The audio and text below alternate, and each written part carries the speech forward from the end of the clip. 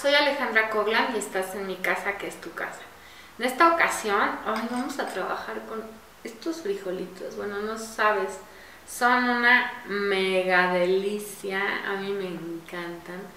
Este, son rellenos de tamarindo, de un dulce de tamarindo confitado así medio chilosito. Este, a los mexicanos nos encanta, nos encanta el chile. Probablemente nuestros amigos de Perú, de Estados Unidos, de Ecuador, qué sé yo, van a decir, ay, estos mexicanos con sus chilitos, pero sí, la verdad es que nos encanta. Y en las mesas de dulces de todas las fiestas nunca puede faltar este, los dulces chilositos. Entonces, este, por aquí ya hemos, llevamos un proceso de nuestra mesa de dulces, puedes ver los diferentes videos, pero ahora vamos a hacer esta cajita que va a lindísima. Este, es muy muy sencilla, yo la compré ya, ya precortada, este, bueno más bien suajada, está, la, la cortaron ya, bueno está cortada y está hecho el suaje, ya está preparado, ve, ve cómo se dobla, y entonces tú ya, aquí está, aquí venía así, yo nada más la empecé a doblar, la doblas muy sencillamente, y le doblas los costados, muy muy muy fácilmente,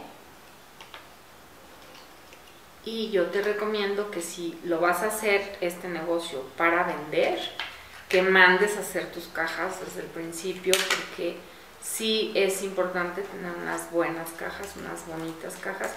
Yo pues cuando compro ahí en el negocio pues las mando a hacer porque se necesita, pero cuando es para regalar o son poquitas cosas, bueno pues yo las, las compro hechas. Entonces tú va, evalúa qué es lo que vas a hacer, si vas a hacer un regalo o vas a hacer un negocio. Ok, aquí la vamos a cerrar.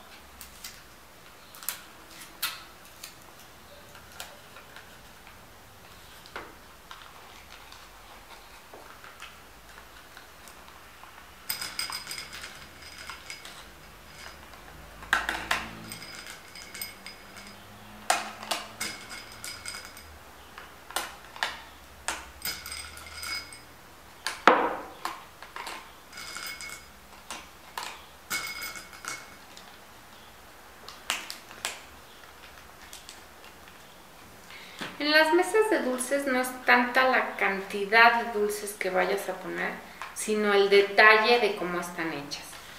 Y bueno, en realidad, a ver, voy a hacer una reflexión. Hay personas que les gusta que haya muchos dulces en la mesa de dulces y que estén a granel. Y hay otras personas que les gusta que la mesa de dulces esté llena de detalles, que esté personalizada, que tenga el nombre, la fecha, la etiquetita, la florecita, bueno, así, precioso. Y hay gente que te dice, no, mira, a mí ponme unos 5 kilos de, de tamarinditos y yo, y entonces los ponemos en un hermoso contenedor, en una cosa de cristal, en algo de acrílico y se ve padrísimo. Pero sí es importante que tú definas. Nosotros en este momento estamos haciendo una mesa súper llena de detalles, muy, muy este, elaborada. Todas estas manualidades que estamos haciendo, que el moñito, que la cajita, pues es parte de la vista. Y tú, pues, cuando vas a hacer tu mesa de dulces, tienes que definir qué es lo que quieres. Si vista o volumen. Pero ve, por lo pronto aquí se va viendo preciosa, nos está quedando muy bien y ya con esto tú vas a organizar algo muy muy padre. Recuerda, soy Alejandra Coglan y estás en mi casa que es tu casa.